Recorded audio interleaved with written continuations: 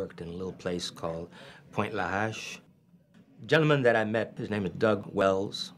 He was one of the fortunate ones. He was able to save his boat, and then he lived on the boat because he knew that if he left the boat, the Coast Guard was going to come and take it and destroy it because it was very badly damaged. We were talking about shrimp hauls and how he should be out there now shrimping because it was shrimp season, uh, but he wasn't. And he wasn't sure when he was going to be able to get out. The sense of courage and determination that I found in these people. They, they understood that they were getting the shaft, but they were not going to be defeated. They were not going to run away and hide. Slowly but surely, it's going to take them a while, but they will rebuild their community.